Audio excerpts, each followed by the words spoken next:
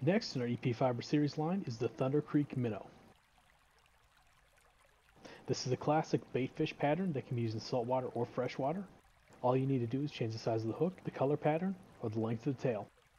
Typically this pattern is done with bucktail, but we're going to be using the EP fibers to create the body, and then the EP sparkle to create a little body flash. For this fly, I'm going to be using a long shank streamer hook. And we're going to start a small thread base right at about the point of the hook, where we'll be tying in our Krystal Flash tail. I'm tying about four pieces of Krystal Flash here at the midpoint and bending it back and tying it down.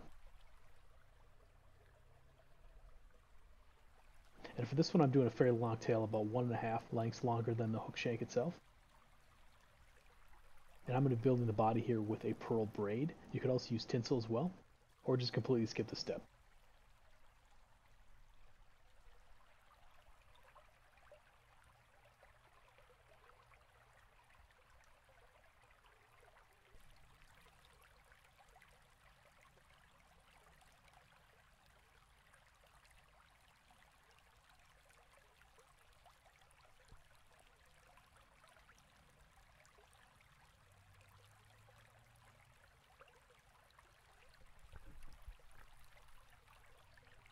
Next we'll be adding our first color of the EP Sparkle, and this will run down the midsection of the fly.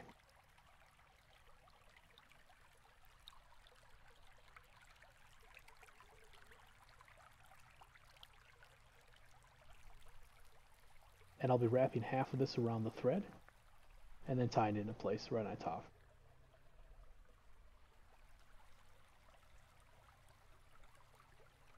And then trim this to the length of the Krystal Flash.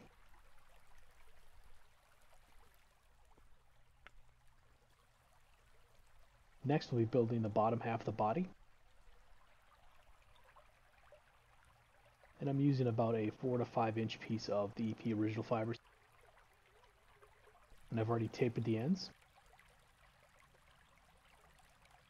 And we'll be folding this back so we'll be tying in the opposite direction that we typically do for most flies.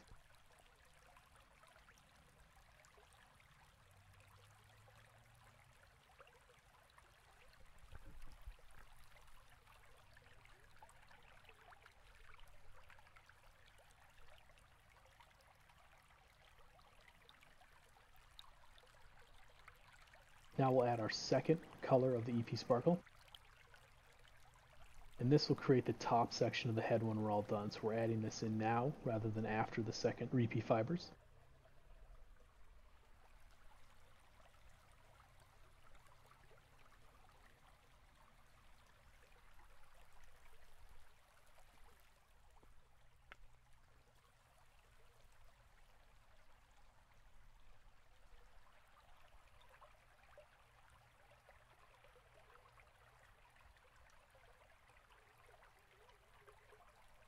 And then we'll be adding the same length piece and lining it up with the white bottom fibers.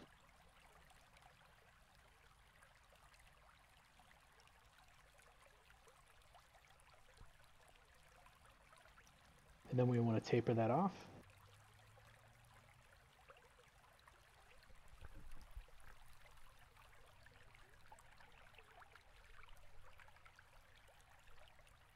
And start working the sections apart.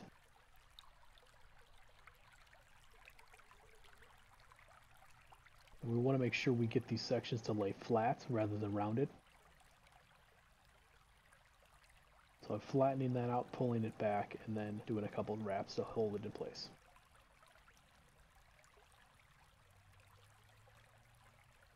And then the same thing for the sparkle. We want this nice and flat down the center of the head.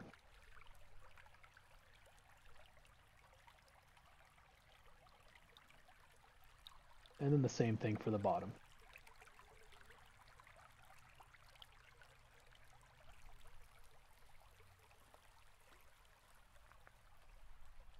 The advantage using the EP fibers here instead of bucktail, it adds a bit more bulk and form to the body, but it reduces the size of the head on this fly.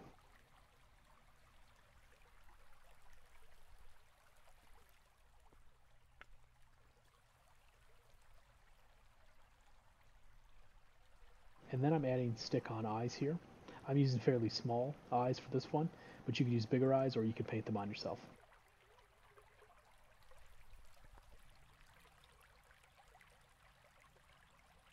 And then I'll be using UV resin to build the shape of the head.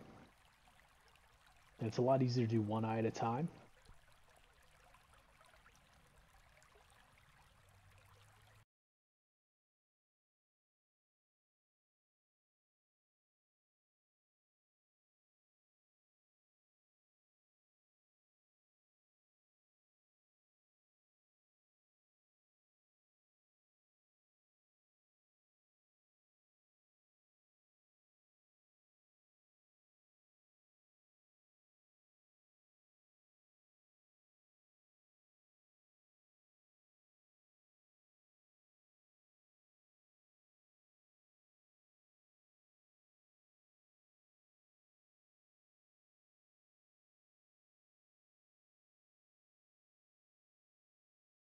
And there's a new take on the classic Thunder Creek Minnow with synthetic fibers instead of bucktail.